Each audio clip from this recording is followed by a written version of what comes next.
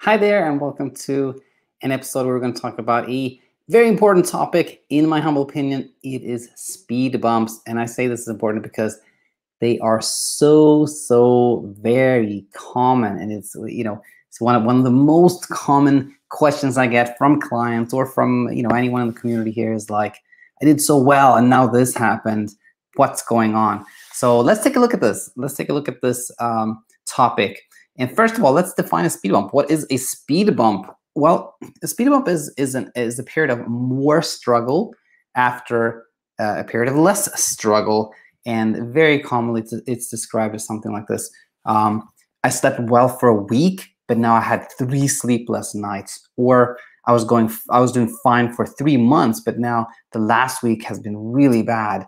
Again, you have a stretch where you'll sleep having easier, things were going well, and then there's a period of more struggle. And very often it is worded as I'm having a setback or a relapse. And um, I don't think those uh, descriptions are accurate because a relapse, you know, sounds like you have some kind of illness, and insomnia is not that. Insomnia is just a, a matter of misunderstanding in like that safety part of the brain. So I, I, I don't think relapse is a, a good word for this. And setback, I don't think is is true either because you, you cannot really go backwards uh, when once you started understanding because education is yours for a life. So I think uh, of this more as a speed bump. And uh, we're going to over five things that I think can be really helpful to think of when you've had a speed bump, or just just for general information as well. So here's number one: you now have proof that things are proceeding as normal. You know, it, no matter how uncomfortable and scary, etc., this can be, uh, having this speed bump is is just evidence that things are proceeding in a typical and normal way. And why do I use the word normal here? Well, it is because unlearning or learning for that matter is non-linear. There is just no way that we unlearn the fear, the thought patterns that have been created over often a long period of time when you've had trouble sleeping in a linear way. The path is bumpy for everyone. If it if it, if the if to me like if a client is like not really having any speed bump or, or, somebody doesn't have that, then to me they didn't really have insomnia. They probably just kind of flirted with it or had a little bit of like fleeting um, a fleeting worry or something like that.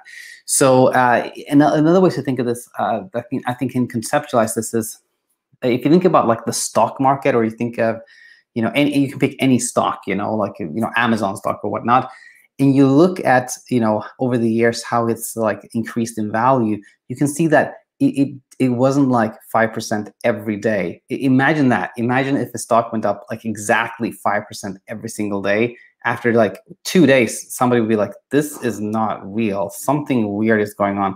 Because, you know, in the stock market, it's like multiple, multiple humans that are, you know, involved in this, like a lot of thinking and pondering and whatnot and like in an individual level it's the same that you you, you just it's just like non-human to to have uh, you know a scenario where you'd be like oh i slept 2% better every single day. I was 2% less scared every single day. It just does not happen that way. So, uh, this kind of bumpy path is a, a, proof that you have a normal brain, a normal functioning human brain. So, it's to me very reassuring that you have this speed bump pattern, even if, of course, it's uncomfortable. But that is to me very important to know.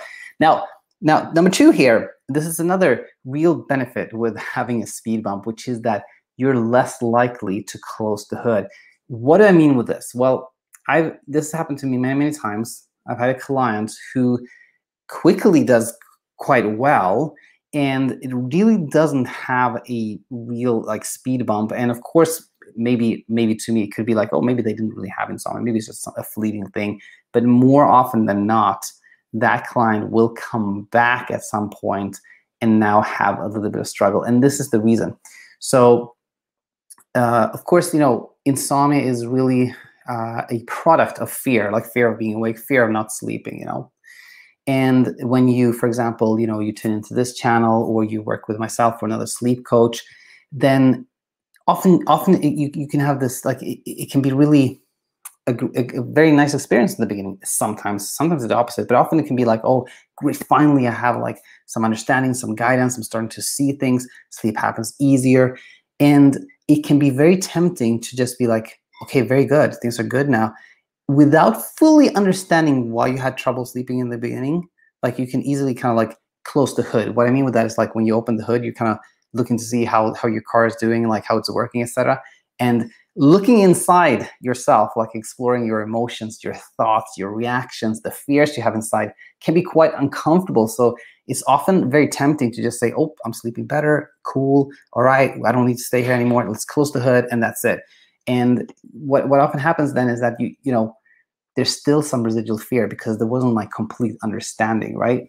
Um, and and kind of to me a good place to like graduate or like leave this channel or whatnot uh, when you know you're sort of immune to insomnia is when you when you when you can say like I know that there's nothing I can do to sleep and that feels okay then th- that that's that's you know then then you're done right? Then there's nothing more to learn really. But when that like knowing that there's nothing I can do to sleep more sparks a little bit of anxiety or fear totally normal. That just means you need to do a little bit more learning. But the point here is that often if you don't have that speed bump early on, it can be very tempting to kind of close the hood It's like, oh, good, I'm done. This, this was easier than I thought, or very nice. But, uh, but that is quite tricky because then, you know, you'll have a little bit more uh, work ahead of you. So if you have this speed bump, then that almost guarantees that you're not going to close the hood. You're going to be, uh, you're naturally going to be doing some introspection, some learning, and that's going to be really really helpful and lead you towards a place where you never struggle with, with insomnia again. So that's a real benefit with these speed bumps. Now number three here another real nice thing is that you have experienced magic. You have experienced magic because you've you know if you had a speed bump you've had a period before the speed bump where things were happening easier and easier.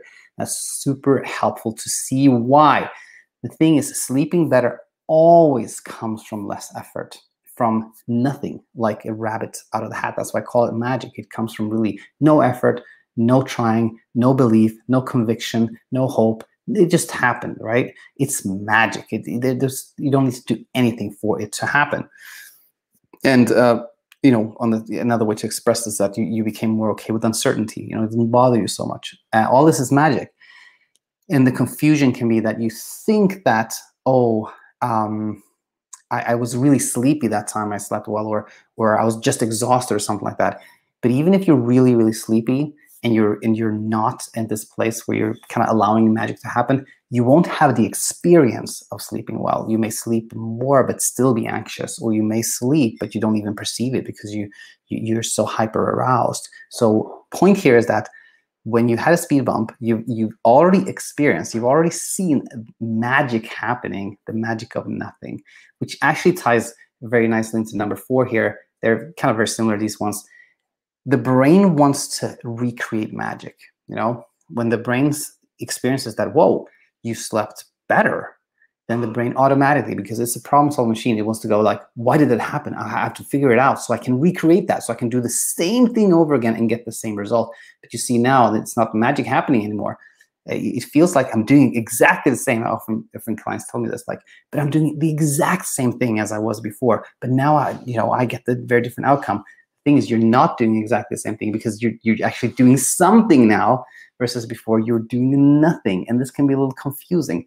But when you see this, then you see like, oh, I see like I magic came from nothing, and now my brain tried to recreate that, and then it became doing something. Aha! This awareness really leads to a place where things are more and more peaceful. And then five, I think this maybe actually I kind of say what I thought was the most important for last year the cycle of resistance. Insomnia is a cycle of resistance. And I think this is very helpful to know about when, you know, in the context of these speed bumps. So insomnia starts really with resistance to a sleepless night. I mean, it may not be exactly like this, but basically it's like this, right? That you have one night or a stretch of nights where you slept little, and then some thought happened like, this is wrong. It shouldn't be like this. Why, why can't I sleep? I have to do something now we have resistance towards another sleepless night. You don't want to have another night like this. And this, this resistance now leads to preoccupation, worry, exploring, Googling, searching, trying to do things, creating this illusion that there is some danger or fear in the brain. And now this, this resistance again creates insomnia. And so speed bumps, uh, particularly, they come from resistance towards a setback, if you will, you know? So uh, you may have done, you know, better, you slept well, and then for some reason there's like this one night where you sleep less and then the same resistance that creates insomnia in the first place kicks in you're like oh what's happening? I'm doing something, something wrong? What, what's happening? Why isn't that why am i not getting the same result? Now you know we're we're towards the speed bump. Now speed bumps to happen because of the resistance. So i think it's very very helpful to know that when you hear these things in your brain you know that there may be some trouble on the horizon for example how can I stop this speed bump? This is the same resistance that maintains the speed bump, the same resistance that creates insomnia. Or how can I prevent myself from going backwards? Like I don't want to go back into the rabbit hole. How can I prevent that from happening? This is the resistance that creates insomnia. Or how can I keep this from happening again? This is the resistance that creates that residual trouble, this, the speed bumps, the insomnia, etc. So, eh, eh, so you know, often a natural question becomes like, so what should I do?